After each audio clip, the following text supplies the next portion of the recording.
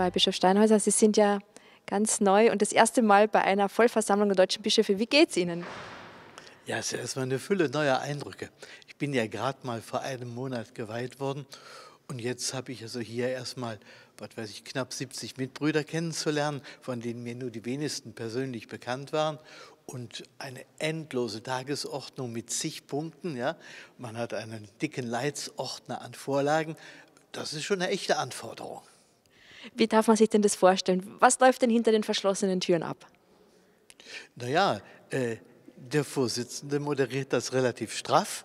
Äh, die Tagesordnungspunkte werden hintereinander aufgerufen. Manches, das geht ruckzuck. Äh, Gegenstimmen keine so weiter. Ne? Äh, und es gibt dann auch Texte, da wird dann mit einer anderen Intensität darüber diskutiert. Was denn zum Beispiel? Ja, es ging um einen äh, Text jetzt äh, zum Reformationsgedenken Healing of Memories, also Heilung der Erinnerungen oder auch Heilung durch Erinnerungen. Äh, ja, und da haben dann einige sehr genau hingeguckt und da gibt es auch nochmal einen weiteren Klärungsbedarf mit der evangelischen Kirche.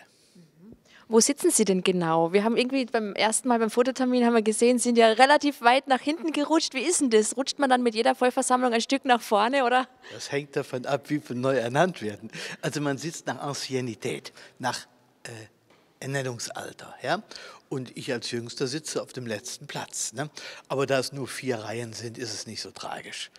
Ist das nicht wie in der Schule so, in der letzten Reihe sitzen die? ja, sagen wir mal, man hat den Rücken frei und äh, man kann natürlich mit den Nachbarn auch schwätzen. Ja. Es hat auch Vorteile, ähnlich wie in der Schule. Ne? Neben wen sitzen Sie denn? Ich sitze neben äh, Weihbischof Benz aus Mainz. Und haben Sie schon ein Thema gefunden, das Sie auch einbringen möchten in die Vollversammlung, wo Sie sagen, da, da liegt mein Herz dran, das ist mir ganz arg wichtig, das bringe ich hier ein? Äh, so weit bin ich noch nicht. Also ich bin ja erst noch in einer Orientierungsphase und äh, mein Herzblut wird noch nicht vergossen.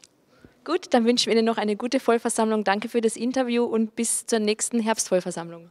Danke, ich freue mich, dass Sie mit mir gesprochen haben.